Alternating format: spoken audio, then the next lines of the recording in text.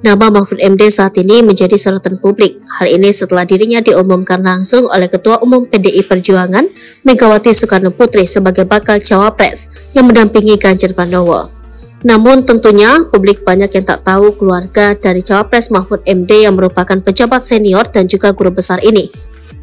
Dari pernikahannya dengan Zaizatun Nihajati pada 1982, Mahfud MD memiliki tiga orang anak, yakni Vina Amalia, Muhammad Ikhwan Zain, Royhan Akbar.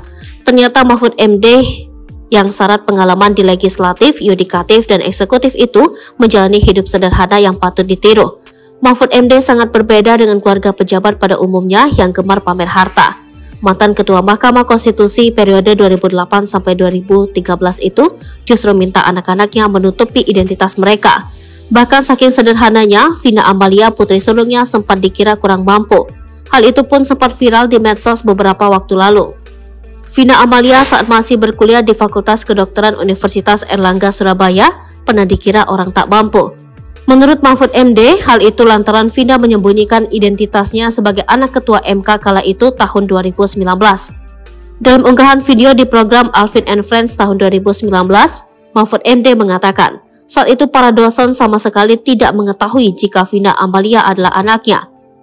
Mahfud MD mengaku dirinya melarang anak-anaknya mengungkap identitas sesungguhnya. Apalagi waktu itu Mahfud MD adalah Ketua Mahkamah Konstitusi Republik Indonesia. Kini ia menjabat sebagai Menko Polhukam.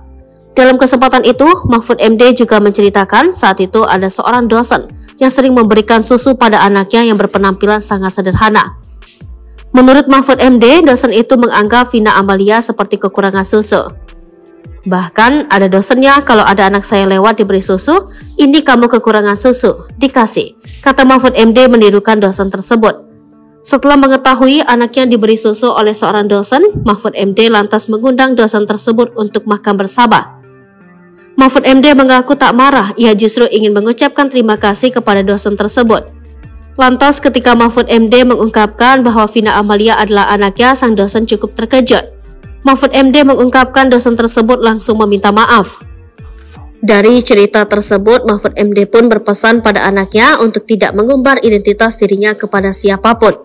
Dikutip dari Tribun Jakarta, ketiga anak Mahfud MD yakni Muhammad Ikhwan Zain, Vina Amalia, dan Royhan Akbar dinilai sosok yang sederhana, tidak memperlihatkan identitas ayahnya yang menjadi seorang pejabat.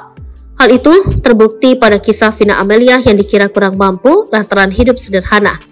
Kini Vina menekuni spesialis kedokteran fisik dan rehabilitasi medik.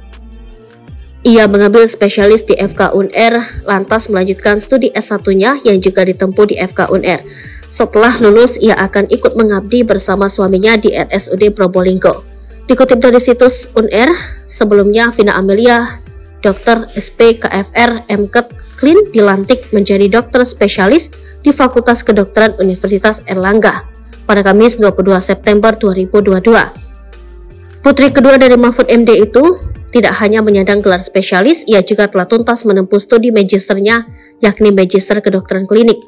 Tak hanya Vina, anak pertama Mahfud MD yaitu Muhammad Ikhwan Zain yang berprofesi sebagai dokter juga demikian. Muhammad Ikhwan Zain telah menyelesaikan pendidikan S1-nya di Kedokteran Universitas Gajah Mada. Ia melanjutkan spesialis di Universitas Indonesia serta mengambil gelar doktor di University of Amsterdam, Belanda. Sementara anak bungsu Mahfud MD yakni Royhan Akbar menjadi dosen hukum di Universitas Gajah Mada, Yogyakarta. Selain menjadi dosen, Royhan Akbar juga bekerja di firma hukum internasional HHP Law Firm sebagai seorang konsultan.